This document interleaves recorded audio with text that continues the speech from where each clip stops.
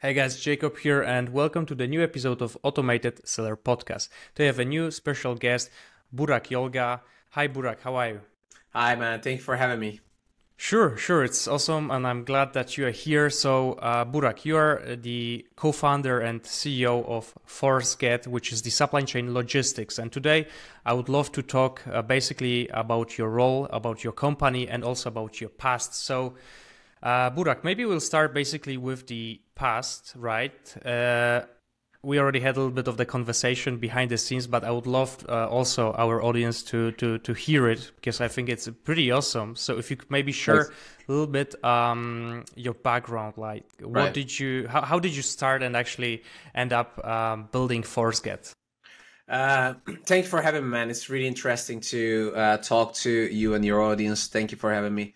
Um, you know, for me, um, the journey was painful. Um, you know, a lot of people uh, they think that you are here today because you know um, you just like build this company, but I, I have so many failures. Um, I I've been living in Miami, Florida, the last five years. Uh, before that, I lived in China eight years. That's I think where my journey starts.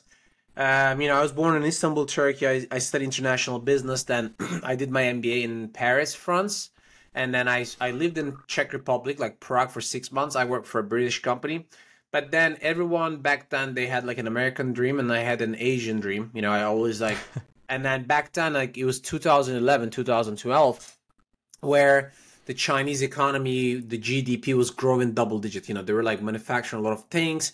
It was very interesting for me. I, I had no one in my family actually doing business, and I was just like interesting, and I found an internship in China for six months, and then I ended up staying like eight years. Uh, but you know, it was very different because I didn't have any experience. I didn't have any money. Um, you know, let, I, me jump here real quick, mm, Burak. Actually, right. for for this Chinese, because I know that uh, sometimes uh, people tend to have a very long answers, and I, am actually very curious about this Chinese e- experience. Right, like you said that you, you you had an internship there, but but how is it actually to be in China? Does it require like to have a visa? Because you said that you spent up there a few few years later, right? right? Like interesting question because you know back then it was a little easier uh you know i i only had like a turkish passport Mm-hmm. And I, I, I got a six months visa, and it was this world's largest golf resort actually. So back then, still like I had no business connection, and in Turkey I always worked in the hotels, in the resorts, like in the customer relationships and stuff. So I found an internship there, and then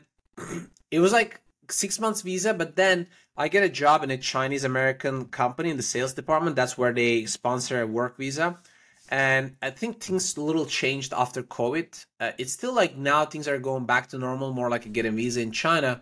But now, you know, the economy is not as encouraging as when I started. Even when I started, you know, Alibaba was there.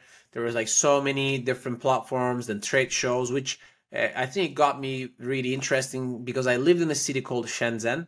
Uh, if people know, it's really right across from Hong Kong, like 45 minutes by subway or bus and it's like two hours from Guangzhou where the Canton Fair takes place. So I was in the middle of uh, electronic centers, the you know the largest electronic companies like Huawei, uh, Oppo, like all these companies are in in Shenzhen. So it's like a growing open-minded city but biggest challenge was like i didn't speak any chinese so you know you take i was it, about to ask that actually yeah like i had zero zero zero chinese and before I moved there, the person who did an internship with me was asking me if I like Chinese food. I was like, yeah, sure. But the food in there like extremely different. And mm-hmm. you know, the first six months I lost around like 15 kilos because majority of the oh, really, like, yeah, majority of the meals were like fried rice, fried noodle. You know, the hotel yeah. that I worked, it was like craziest time. But it was very interesting because you know I could travel back then. You know I had no team. I was just like me myself. Like you know I had not really much responsibility. Still like a student life. It was interesting. But it's also crazy I, that, that you just there went there on your own. I think yeah, that's like yeah. very brave. I, you know, like right now I'm looking. I was lucky. I was brain. I was stupid. Mix of everything. Um, but I think the the majority of you know the most important thing for me was it was a very active lifestyle. I, I always like to be active in my life. You know, I don't like the word entrepreneur too much. Um, if you are good at something, if you want to learn something, that's what makes you who you are. And I always, I was always into international background, business, maybe money. You know, all of us have different sort of uh, motivation, and mine was this. And traveling, meeting suppliers, understand what is happening behind. It just like it was so interesting because I would always think that okay, I have a Samsung monitor in front of me. It's made by Samsung factory. When I went to the factories in China, I'm like, this doesn't look like the factories I saw in National Geography or something. You know, like in the in the TVs. I'm like, is it really factory? I was like shocked where oh, wow. products are manufactured, like what way and you know it was you just mean like in a good way or in a bad way? In a bad way in a good way also. I learned so many things about like you know what is white label what is oem what is odm mm-hmm. um you know the products that you buy in the market it comes to you within four or five different tiers through different trade companies like importers exporters. It just like still i'm amazed of this entire process. You know when you place the order you send the money the product is made by a factory or, or trade companies. And the, and then you know the way of doing business now is very different than mm-hmm. 10 years ago. I can't believe it's been 10 years but um, i feel a little older as well. Um, i'm only 35 years old by the way. Don't think that i'm very old. Um, but you know right now majority of these factories or manufacturers or trade companies they do business directly in the end to end. You know they they're in the d2c marketplaces. They sell on amazon directly Oh, really? Um, the the, yeah. the factories itself. Yeah, exactly. You know, it's funny because we were looking to reach out the big brands uh, on Amazon side. Majority of our customers are Amazon. We downloaded the brand analytics report for outdoor and um, furniture. Eighty percent of the top three click brands are Chinese brands. That's wow. crazy. But eighty percent.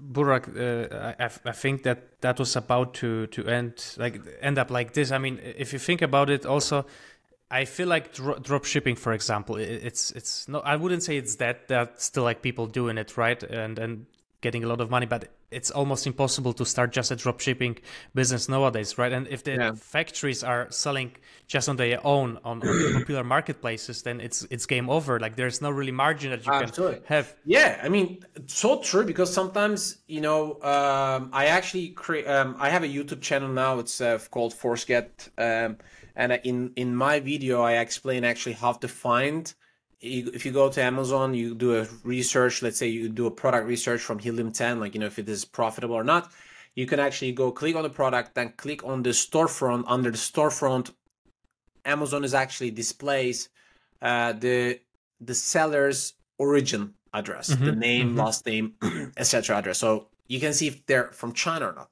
Then if you are trying to enter to a um, you know product category where Chinese manufacturers or suppliers are heavily involved, then you have pretty much no chance. And it's like so funny because one of our customers they used to import uh, mealworms, you know, the one kind of dry meal, like the meal, the dry worms that used for birds feeding, chicken yeah. in the farms and stuff.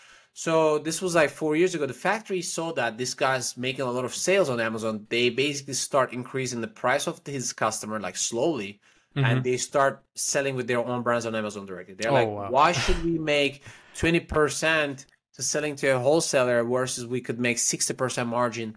And that was an insane story because in some point they had an agreement that they need to buy certain amount. So this guy lost $200,000 because he put down payment deposit. So like sourcing and finding the good suppliers is one of the hardest part right now. So there are so yeah. many companies are shifting selling on Amazon to like multi channels or different marketplaces. I think game has changed a lot, but same time you need to have a clear way of calculating your landing cost. Uh, mm-hmm. This is the most important in managing your inventory. Um, I so... think I think also Burak, what what I've seen, especially here in Poland, like Amazon, for example, it's it's not that big in Poland. It's getting there, um, but like I have a lot of friends who are um, selling their uh, like especially um, like T-shirts and so on, so um, clothes.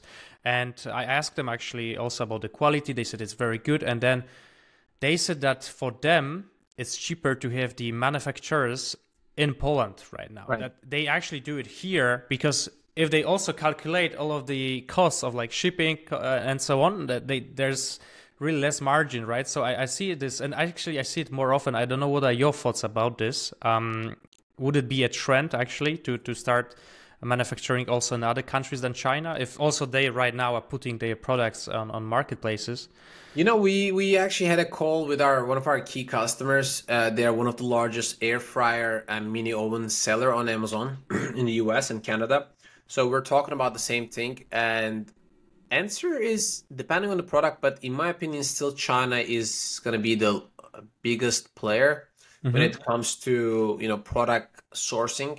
Uh, people talk about Mexico. I don't think Mexico, except a couple of different uh, product categories. They say maybe textile, maybe some plastic or wood products.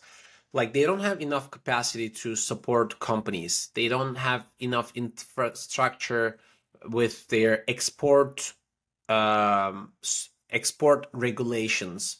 Um, it's very hard to export from Mexico. You have no idea. Sometimes it takes two to three weeks to clear the custom, and then you need to pay a lot of money. And then, you know, products you manufacture in Mexico only can go through um, truck to US, and full truck can cost up like seven to ten thousand dollar versus container now, like with the even the price increase like five thousand. So I don't believe in people saying, "Oh, go source from Vietnam, go source from Mexico." Yeah, yeah. Like, yeah, but like how? Raw material still comes from some of those countries, mm-hmm. you know, or maybe the the production equipment, the packing material. Uh, I am not heavily supporting China, but same time, uh, you need to be realistic uh, to understand like what other countries you can source. Some people like blindly uh, started to promote Mexico or India. But then, you know, we spoke to an Indian uh, supplier. We asked them to provide us the packing list and proforma invoice. They were like, "Oh, what's proforma invoice?"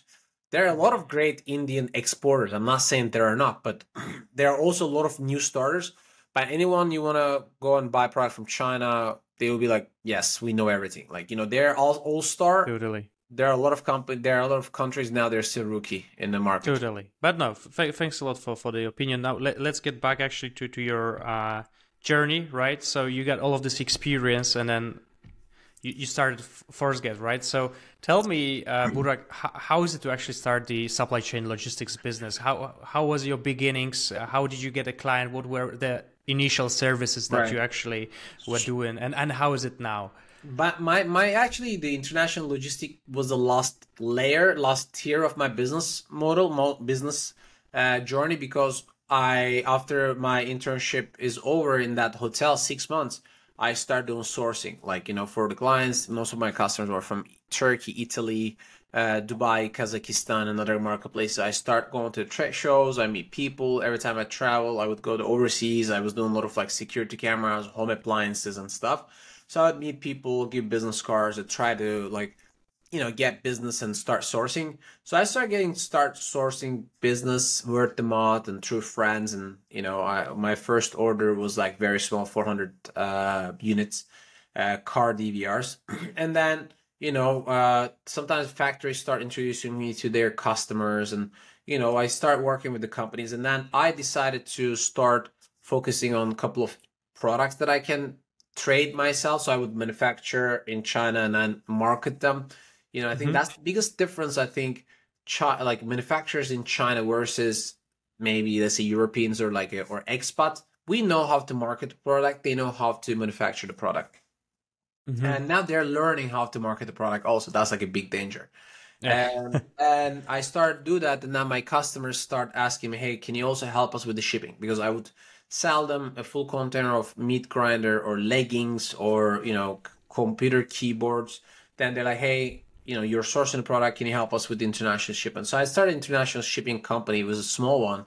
And then it started growing. And then five years ago i right before covid i was like you know i want to expand to a different marketplace because my knowledge and my business relationships in china is only worth of my competitors because you know everyone would compete everybody would compare my service with other sourcing companies from china or you know freight companies in china. I'm like i want to differentiate myself so my knowledge works better in north america so i should kind of move here start in here. So i decided to come to miami florida because I wanted to live somewhere in a warm place. You know, New York and stuff's not for me. And the West Coast had like I, just, I just been there recently. Yeah, it, it's yeah, a cold it's place. Like, not fun. And then West Coast has too much time difference with China and Turkey because I was like connected with my office. And then I I, I picked Miami. I'm very happy. uh, where I live, there are a lot of uh, open-minded people, entrepreneurs, um, and it's easy to fly in and out. We have a company right now in Medellin, Colombia. Also, we have sales team in Chicago. We have warehouse in Los Angeles, so it's like a good spot for me to like fly in and out. That's how we started. And then we, two years ago, we were the first company who built this digital platform. People can track their shipments online for e-commerce and Amazon sellers. We call mm-hmm. it Forceget Digital Freight Forwarder where now we are working on Amazon Seller Central Connections and Shopify. This way, companies have the full visibility in their entire entire entire, entire international shipping as well as uh, inventory management. So I think it's gonna be something very very cool. Um, and now we're mainly focused on like a large seven eight figure brands who globally selling. We are partnered with Amazon UK and Europe as well as Canada, um, and you know a couple of other big companies like Freightos, Alibaba. So you know, we have a great team in the back end. Everybody works like its own company. Uh, we have a lot of like remote people. We have a lot of like mm-hmm. offices. So I'm, I'm actually very happy in the industry that we're in, which brings the question mark is what is going on with this year in the you know supply chain challenges.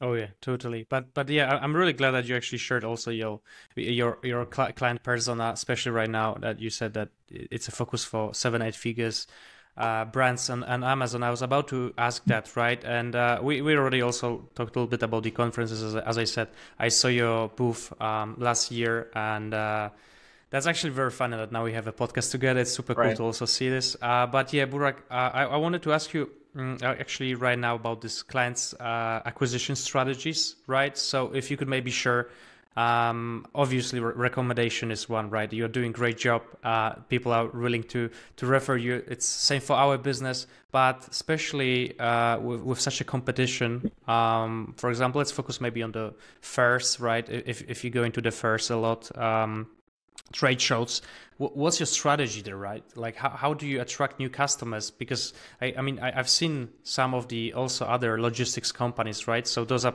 potentially your competitors or like right. directly your competitors. Right. So.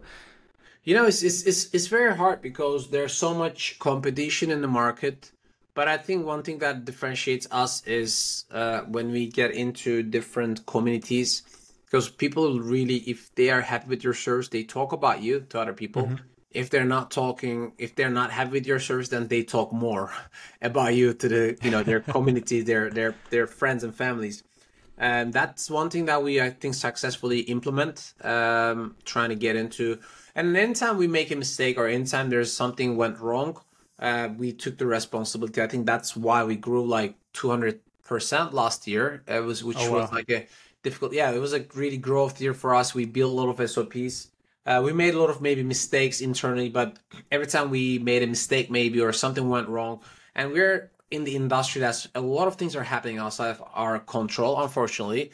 You know the delays maybe something damaged but we always like did our best to help the clients to explain what is the really happen and these kind of things can happen and now what is the compensation? We always try to cover the you know either cost of the damaged things or loss so we put people in the right contact with the right people.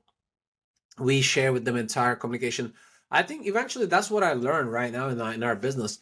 Anything can go wrong, but you got to be like 100% honest. And then, you know, we have a lot, we have our, we have our team is almost like 50, 55 people right now. And sometimes each individual can make a mistake. We're all human. Yeah. And then, you know, as a company owner, I need to take responsibility, even if we need to lose money. We just like tell the tell people the truth, you know. Um, and I think our platform, I, I believe in the transparency our, our Forceget uh, software where people can track their shipments online online and it doesn't matter what their location is. I think makes people life easy. If you if there's a problem there should be a solution. So we're trying to find the solution parts like how we can solve people's problem. What is their biggest challenge right now? If you want to grow bigger expand better um, what kind of question marks you have in your head? And we're trying to answer them before actually people ask like you know because people search things and we want to be there to help and create value for for the clients. I think it's all about creating value for the client Totally, totally. No, I, re- I really like it. Um, I really like it. Also, like the, the platform. I think this is like a definitely a game changer, right? So you, you said that you, you have this digital platform that your clients can pretty much log in and see all of their shipment, uh, shipment and warehouse location. movements, inventories, everything. I, I, I think it's it's it's really a game changer then. Especially uh, now, you know, because I know that some people they keep talking about the PPC budgets increasing and you know PPC bidding is much higher Mm-hmm, uh, totally. But they are managing their PPC budget not according to their inventory movements, mm-hmm. which is the biggest problem right now. And you know, Forceget is the one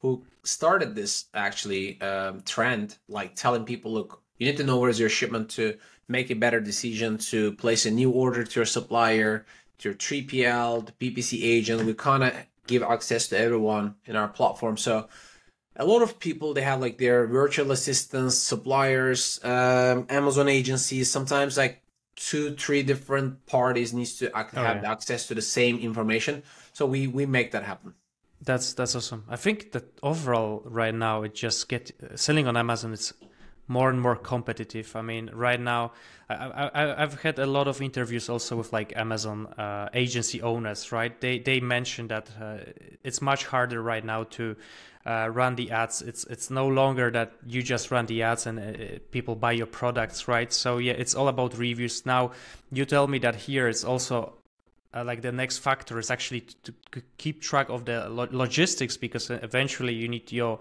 stock to be refilled also on time.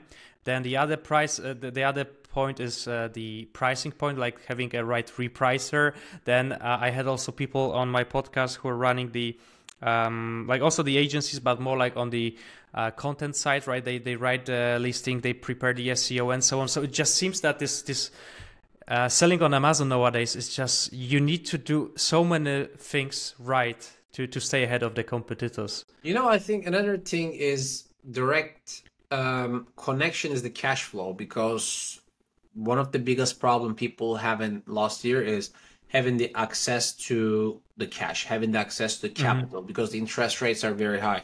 2021, 2022, no one had that kind of problem. Aggregators were like throwing out money. Now they all oh, went yeah. bankrupt, unfortunately. um, you know, the market conditions are like very different. So even if you have a good idea, maybe you don't have money to launch this. and this is a little, that's a big problem for people to, you know, maintain their business. And not knowing when is your shipment departing from the origin, not knowing when is it arriving, you can't even make a decision about increasing, decreasing your prices, activating, deactivating coupon. Everything is related to your best selling rank if you're selling on Amazon. And if you make a small mistake, you run out of inventory, it's pretty much end of the game because Amazon really do care that you never run out of inventory. They care about sales history and now they even came up they came out with an announcement that you need to have an average uh, you need to keep an average quantity that you're selling last 12 months always in the FBA fulfillment center because there are so many companies they run out of inventory. So it's basically like end of the game if you don't manage your inventory well. And now we see average two weeks of delay uh, shipment mm-hmm. apart from China, which with few particular carrier and I really think that it's just uh, I really think that it's like the most crucial decision making process right now. What inventory do you have? When it's going to arrive?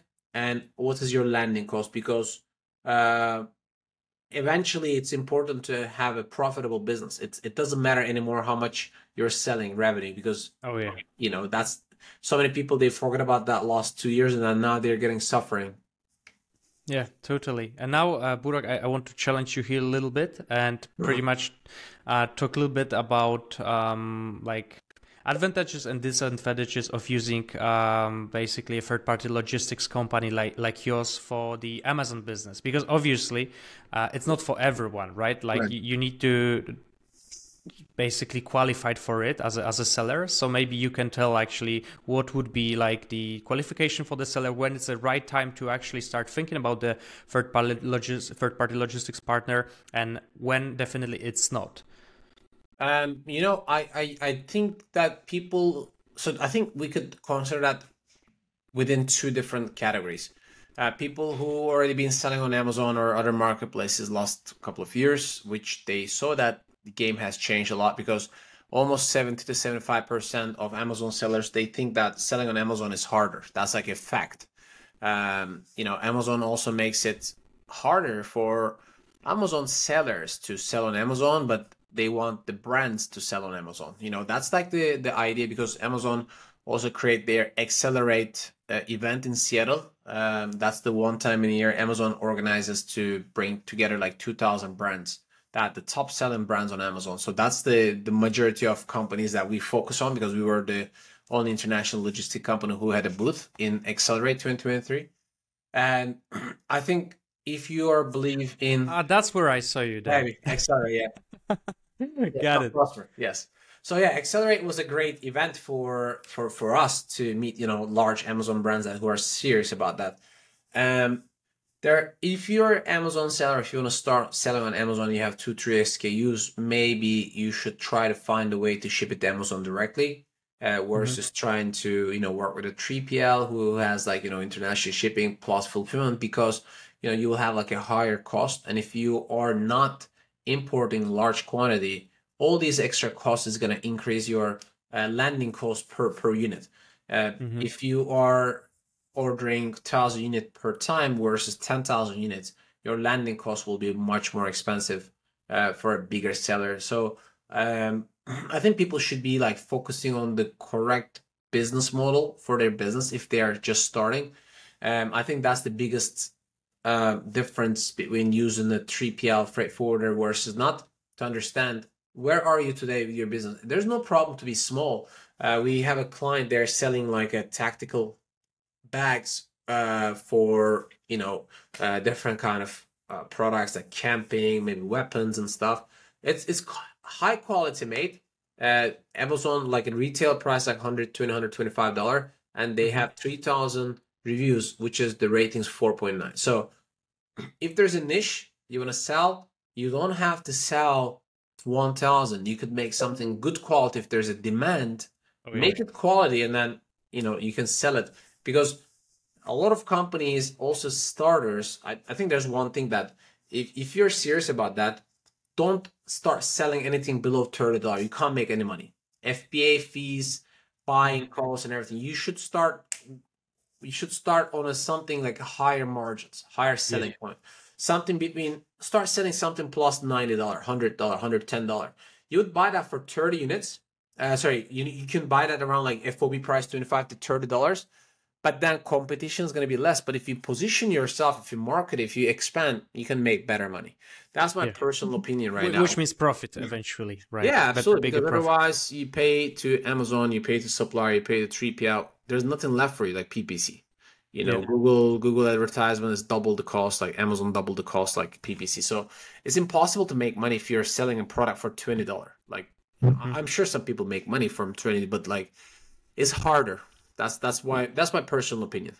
Yeah, yeah. Thanks, thanks for this. Definitely, I, have heard actually, yeah, from also a few other uh, leaders in this um, Amazon community that it's it's it's super hard right now to compete yeah. also on those l- lower prices items. So that that's for sure. And now, Burak, I want to talk a little bit also about uh, like the most important days uh, for Amazon sellers, right? So days like Amazon Prime Day or uh, the Black Friday. Uh, you already said that having items in a stock, um, so you can actually fulfill all, your, all of the orders, it's crucial, right? And right. if you if you if you don't do that, then you can just pretty much uh, lose with your competitor overnight. Right. So, how Amazon sellers should uh, get, actually get ready for those important mm-hmm. days? Like there, there's also like some other days like seasonality, right? Like Christmas, for example, where certain items go high. Like so, overall, all of those seasonal days, like wh- what's your approach?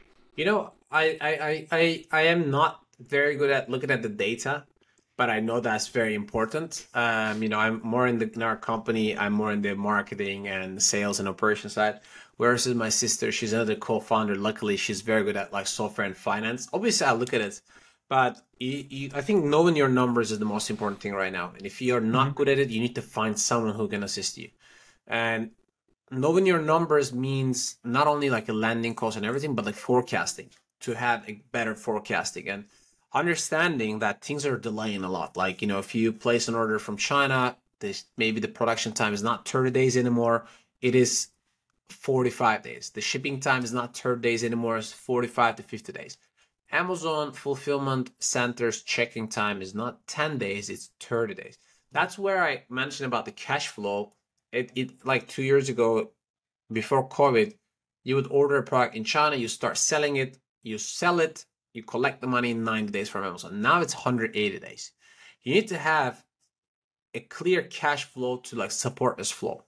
Mm-hmm. You know, so this is the most important thing I think for this year to understand for people to know their numbers and understand and manage their cash flow and forecast. You look at the last two years data, the same time of the year, and also calculate the fact that like the inflation and other things. It's it sounds like complicated, but I think uh, it's important to understand like this relationship between the suppliers the shipments and the you know the selling it's the most important thing this year that's why uh, you know every day they're talking about this in the finance news and you know politic issues the company revenues can be affected from this supply chain disruptions Oh yeah, oh yeah, and I think yeah, it's it's all about also pre- pre- prediction. Uh, so w- once you take a look at your data and the numbers, and you know that uh, in two months there might be a very high demand on your product, then you just simply should order more, right? And and predict that.